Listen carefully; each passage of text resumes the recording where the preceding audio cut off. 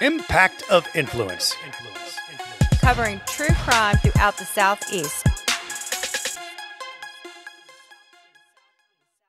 Hello, friend. Matt Harris and Seton Tucker here. Uh, we are dealing with the case of Jimmy Robertson, who killed both his mother and father in 1997 in Rock Hill, South Carolina. We have had an episode out, and we're going to continue to crank out episodes about this really intriguing case. Uh, before we do that and bring in our guest, Seton Tucker, tell them about the two places they can find us. You can find us on Facebook at Impact of Influence or on YouTube, which the best place probably to access that is through our Facebook page. You're correct. Uh, you missed this interview. I know, and I was so disappointed because we had interviewed Tommy Pope about uh, Susan Smith. She was the woman from Union, South Carolina, who is uh, convicted of murdering her two sons Yep. and uh, up for parole, I believe, this fall. Yes. And he was one of my absolute favorite interviews that we've had. He's just so engaging and uh, interesting. So I was very disappointed that I missed this interview, but I was on vacation. Yeah, so I'm gonna get an extra listen this time. This this is for this one from you. yeah, I will listen to this one for sure because I, I, I just think he's amazing. Well, he was the lead prosecutor on the case, and here's our guest, Tommy Pope. Guest today, Tommy Pope. He's been on the show before. and We did the Susan Smith episode in 1992. Tommy was only 30 years old when he was elected to serve as the solicitor of the 16th Judicial Circuit of Union and York counties in South Carolina. Uh, we've talked about the Susan Smith case before. You tried numerous murder and death penalty cases. And in uh, 06, your new chapter uh, began in private practice of law. 2008, Tommy was awarded the Order of the Palmetto, South Carolina's highest civilian honor for his dedication and service to the citizens of the state. And in uh, 2010, Tommy was elected to the South Carolina House of Representatives. And in 2014, Tommy elected Speaker pro temp by his peers and reelected in 2016 to serve in that position, which he continues. Tommy, welcome to the show. Thank you. Thank you for having me. Now, there's a few, you, like we said, you did a lot of murder cases. There are a few of the ones that really, I'm sure, stick in your head. And I know it's been 25 plus years, but uh, this whole case of you know people killing their parents is Right. extra weird, and then the violence of it was uh, you know just uh, just horrifying. Uh, so tell tell me when did you first learn about the murders of Earl and Terry Robertson? Do you remember that? I think the law enforcement, uh, had, you know, was working the case. Um, you know, I hate to say this, but cases run back to back. You know, I might be in trial while another one's occurring. We we never have a concern with supply and demand in the criminal Yeah. justice world. I don't think, but uh, but anyway, uh, I recall um, um, you know getting the contact from law enforcement, and to the law enforcement's credit, it happened pretty quick because it had been staged by Jim as a, a burglary. Mhm. And um, when Jim and, and Meredith Moon, who was a friend that was with him, kind of hit the road, they were going up toward Pennsylvania to where the brother Chip was in school, and that was going to kind of be the alibi too. And they actually took most of the items from the house, the the as I recall, the clothing, some of the weapons, uh, the the I think the baseball bat, maybe the knives, and put them in a, a trash bag and threw them in a in a dumpster in Maryland, about halfway up the road. And uh, due to the quick work by law enforcement, they were able to intercept Jim when he arrived in Pennsylvania and Meredith, and actually backtrack and gather that evidence. And this was kind of in the the early stages, still of DNA. You know, kind of it was getting you know more refined. It's so commonplace now, but we were able to to use that to match up. And so that trove of evidence, basically, that was discovered just you know on the side of the road in a dumpster. Unfortunately, they were they got to it so quick that it that you know hadn't been taken to the landfill really made a difference in the case. Did the when law enforcement was doing the interviews with Meredith and Jimmy, did they record those and did you see those or was that something, you know, how did that work? Do you remember? I, as I recall, I don't remember, you know, a video or audio recording to the best of my recollection. You know, I just the the information they relayed. What was really valuable to me in the actual trial didn't come into my hands until the middle of trial. Was on cross examination, Jim had, um, because it was a death penalty case, and of course, they had psychosocial analysis, you know, they're experts to say why Jimmy did what he did. And uh, this Dr. Cassio was his, um, you know, the defense's chosen psychiatrist, psychologist. And Jim went at great lengths to detail. It's almost like he took pleasure from it, everything he did, step by step, what he did, how he did, how he waited till dad was in the shower to uh, go in and kill mom with numerous knives, knowing dad, you know, could possibly thwart him and knowing dad wouldn't hear if he was in the shower. And then he waited for dad coming out of the shower after he killed mom and uh, sprayed Tilex in her face, in his face, so he could kind of get the jump on him. Then he beat him with a baseball bat. But um, Jim just told in graphic detail to this expert, and because she testified and under our rules of evidence, I'm allowed to have whatever notes she took. And unfortunately for Jim, he he told in great, great. Wow! It was almost like a play-by-play. I mean, by the time the cross-examination was over, I, I, literally was saying, and and what did he do next? And what did he do next? And he would say things like, I didn't want to use the signed autograph bat because I didn't want to ruin it. Because Jeez. you know, his whole motive was, you know, was inheritance. His right. dad had retired, his dad was hoping to buy a golf course. That was kind of his lifetime dream. And and Jim and possibly Chip didn't want dad, you know, what squandering their inheritance. And so um, Jim was just extremely graphic, and and obviously to play that out for the jury, it was in essence, you know, like having a, a video or uh, you know at least an audio book narration of of what occurred. Jim, um, at one point after he killed his mother, he told Miss Cassio, "One down, one to go." Jeez.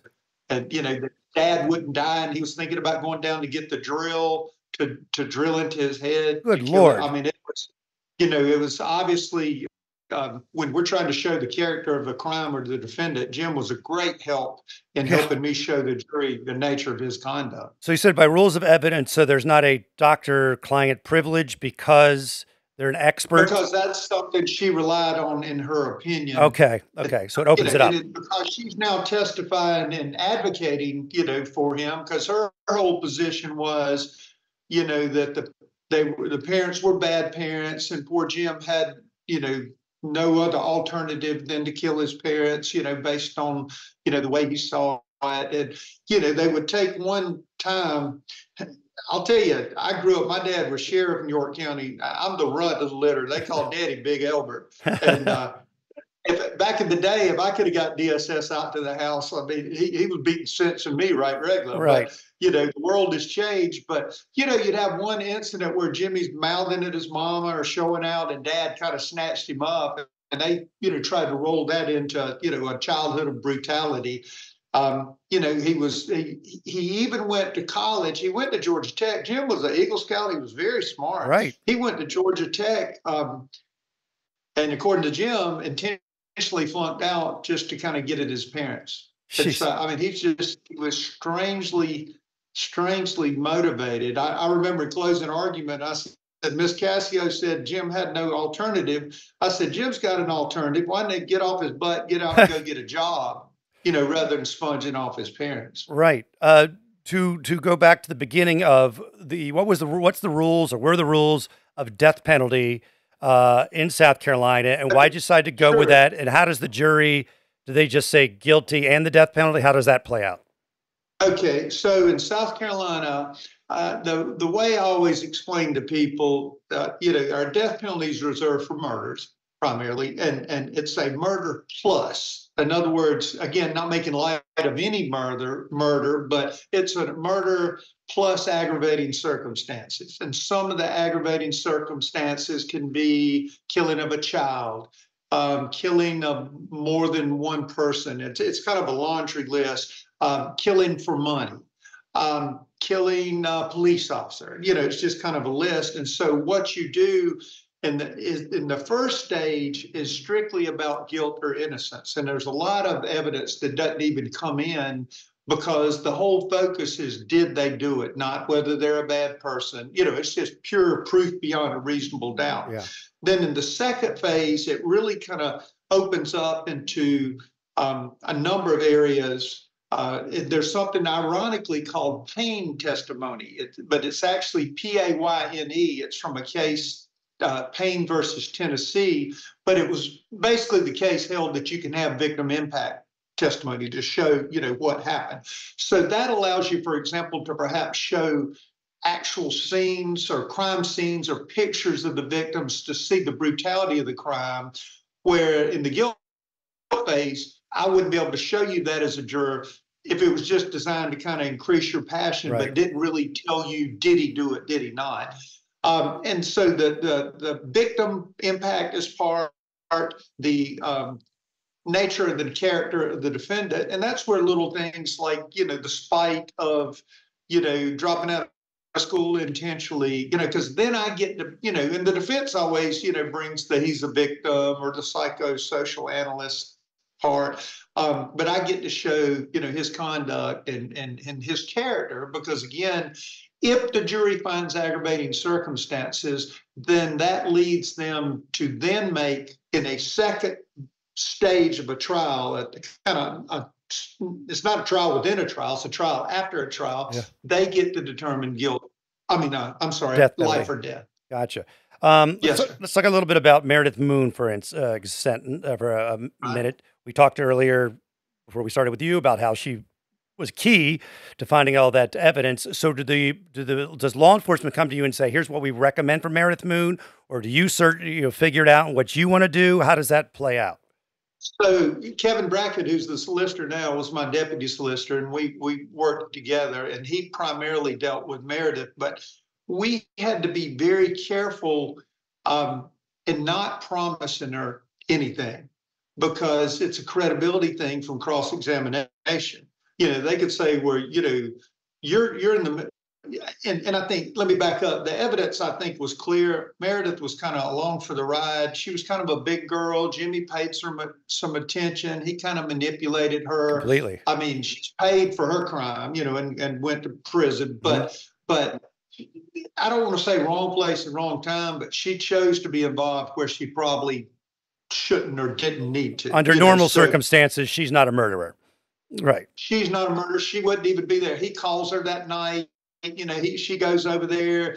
He's all, you know, Chip needs me. I need to go, you know, see Chip. He, you know, and then um, you know, Jimmy's, you know, snorting Ritalin or whatever he does, and it kind of unfolds. Well, now, you know, you've been there, a murder's happened. It's kind of hard to just walk away, you know. And so she she went with him, but she came clean. And again, as I mentioned earlier, the evidence that was found somewhere in Maryland, I mean, she literally told him, I remember it was unusual because it was an exit on the inside of the interstate, you know, on the left side, every once in a while you see there. There was a dumpster there, and I think she described the dumpster. And again, we were able to get that bag full of evidence. But so so she was helpful um, with no promise of reward. I mean, she basically came clean, but we really did feel that that she was she made her own bad decisions, but she was a victim of circumstance. So what we had to do for a credibility standpoint is not promise her anything. Uh, and then wait till the judge sentences her and then be able to say she was helpful, she was cooperative Okay. you know, because otherwise, you know, if there's a, you know, say Jimmy's facing life or death, and she suddenly was offered, you know, five years. I mean, it cuts. You sure you're going to tell us whatever we want to hear because you got a deal. Right. So right. we carefully did not give her a deal, but then we spoke truthfully about the, the help she had provided. because she did not, if I get it right, did not get counsel right away. Right. She just, just told you guys, and so Yeah, I, that, again, up that was up in Pennsylvania. I, yeah. I think that is correct, but you would, if you followed up and said that, I, I would, you know, affirm it. Um, talk just for a, bit about Jimmy's demeanor during the trial. I watched some of the court TV. He did seem pretty smarmy, like he was playing to the camera. Am I getting that right? Yeah, I think Jimmy loves being the center of attention. Um, it was funny. Um, I remember one particular time, and, and so you know, it's almost, and I was fortunate being the solicitor. It's almost like good cop, bad cop. He Jimmy loved me, and you know, thought I was a consummate professional, and he hated Kevin Brackett. I, I remember one time Jimmy either said or sent me something that you know Tommy Pope's a professional, and uh, Kevin Brackett didn't even fit to shine his shoes. And I laugh to this day. My little wooden my little wooden shoebox I printed that out. It's taped on the side of my shoebox. That's I like funny. to share that with Brackett any anytime I get a chance. But Jim was, um, you know, he had two attorneys, and I remember one time in particular. Um, I was back in, it was after a break. I came back in the courtroom. Jim's at the table, but his attorneys aren't there yet. Well, the judge will rise and we've got to get to work. And uh, the uh, judge says, the state ready to proceed? And of course, I said, yes, sir, your honor. And, and they said, uh, is the defense ready to proceed? Well, the attorneys were out of the courtroom and Jim's there and he looks at me and kind of grins and he goes, yes, your honor. You know, he, he fancied himself smarter than, than everybody there. And so um, he, he had a large time being the center of attention until the verdict started coming back. I remember one, I think it was an AP photo or somebody where when the verdict came back and he's literally doing this, Yeah. like that's going to magically make it go away.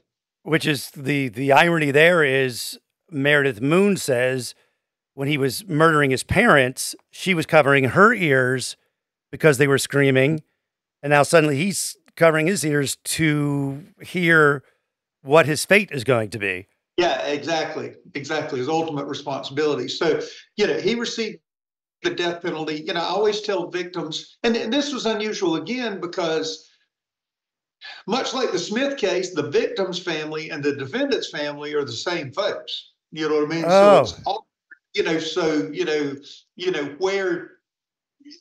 And, and a job as a prosecutor is not just to please victims; it's to do what's best for society and the community and so forth. But it's always an interesting combination. And when the defense brings somebody, well, I, I know his mother, and she wouldn't have wanted him to be, have this punishment. and of course, I'm thinking that's probably part of the problem with Jim. He didn't get the punishment he need you needed along the A little line. spoiled, yeah. So, uh, so, yeah, he was rotten. He was spoiled rotten. That, that family loved him and spoiled him, and he caused them nothing but misery.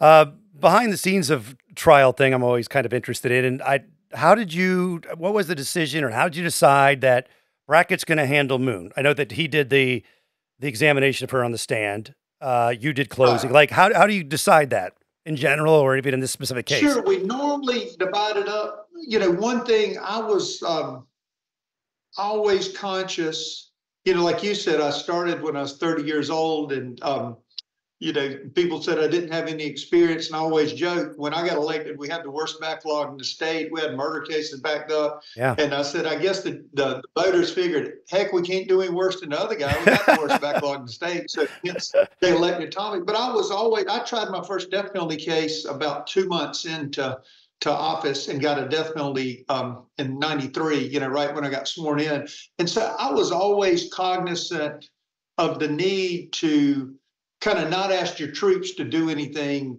that you wouldn't do. You know what I mean? So I tried cases not just to grab the big cases from the assistants, but to make sure that that if I'm telling you how to do something, I want to prove you I've done it too. And so normally how it shook out just by my background with law enforcement and so forth is I would normally take the technical witnesses, not that Brackett Right. or whoever wasn't capable, and and they would often take the, the lay witnesses or the citizen witnesses. And so generally we divided it out that, and you know Meredith was such a big portion that having him focused on that was important. And um, if I recall, I think Kevin probably did the closing in guilt, and I did it in penalty. I Yeah. think again. Um, and so we just kind of divided it and, and worked it as a team. Um, I had read that he did he send you did Jimmy send you Christmas cards? Yeah, so I, always said the irony is um, you would literally, Jimmy knew how to behave. You know, the old Southern, he was raised right. He knew what to do and could and could bring it out when he wanted to. You know, it's almost like uh, you know Eddie Haskell off Leaving the Beaver. you know, he's all sweet sweet to Ward June Cleaver, but then you know when he's upstairs, he's telling Wally, "We're gonna climb out the window and go out this weekend or whatever." So he was almost like that. But yeah, for the longest time, he sent me uh, Christmas cards, and I mean, you would have thought it was from the kid that grew up next door. You know how your family is, and blah blah blah. Oh, so it wasn't just like he signed it; he would actually like write a note to you. Oh, oh yeah, yeah, yeah.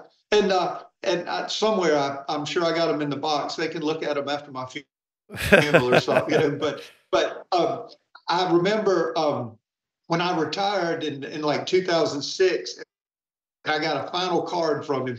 Brackett and I laughed about it because he said something um, to the effect of, you know, good luck to you. Now you're going to go get a real job. And I was thinking, you spent the last, you know, however many years, you know, kissing my rear end, and suddenly now yeah. that I'm leaving, you know, you've on me, you know. So so anyway, so maybe now he'd like Kevin and not like me. I don't know. Um, uh, his brother Chip not charged with anything.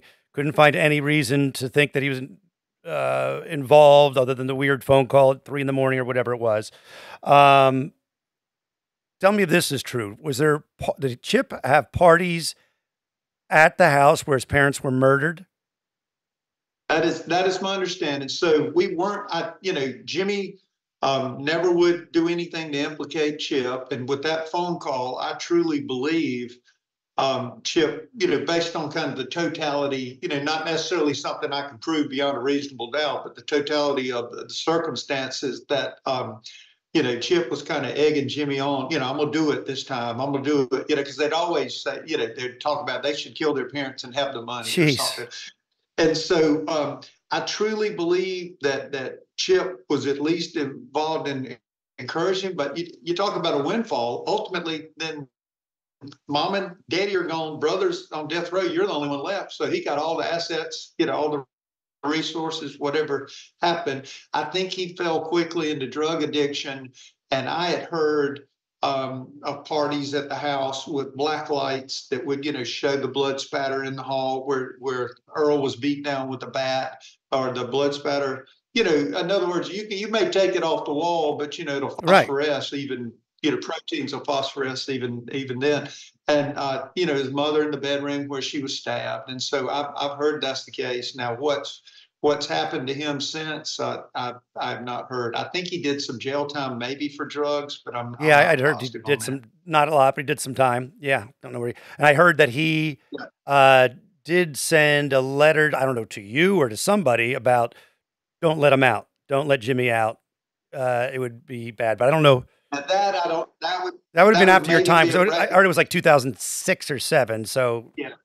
You know, the biggest thing I'll say that probably kept Jim in jail um, is, is, Jimmy himself. Um, you know, death penalty cases, and I think I started to say this earlier. When when I deal with victims, I always say, you know, by then life meant life. Of course, you know, we were dealing with a bigger issue of, of killing your parents than the fact of you know some particular set of victims trying to give them some closure, and and so uh, um, when I always tell victims that if we can try a death penalty case, but it, you you may try it two or three times. It almost always gets overturned on something.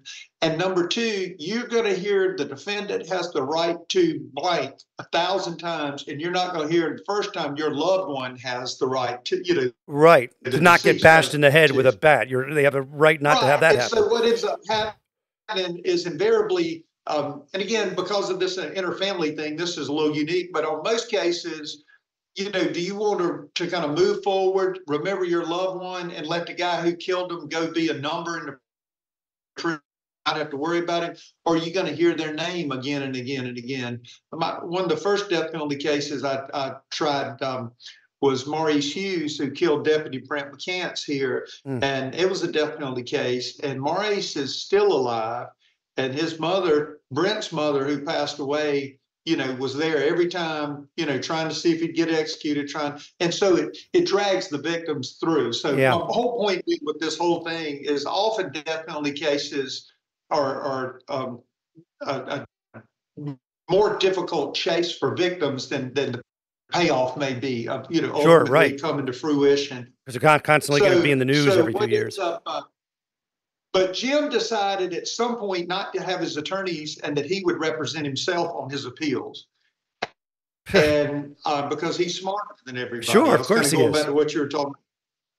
And, uh, I think what Jim did effectively was totally screw up his appeals and, um, increase the likelihood that before I die, one of the few people I have on death row that might actually get executed may be Jim because of his own thinking he's smarter than everybody else. That's a, a lot of uh, people are in jail right now because of that theory, right? Uh, Yeah. Tommy, So many different levels. yeah, yeah. Tommy, so great uh, chatting with you again. I really appreciate taking time from your busy schedule and, and talking to us about this. I appreciate it. Thank you. Not a problem. You take care. I'll talk to you anytime. All right, Tommy. Thanks, man. There you go. Tommy Pope's off. More episodes about the Jimmy Robertson case from Rock Hill coming soon. Matt Harris, Seton Tucker, Facebook, and YouTube channel. We'll talk soon, friend.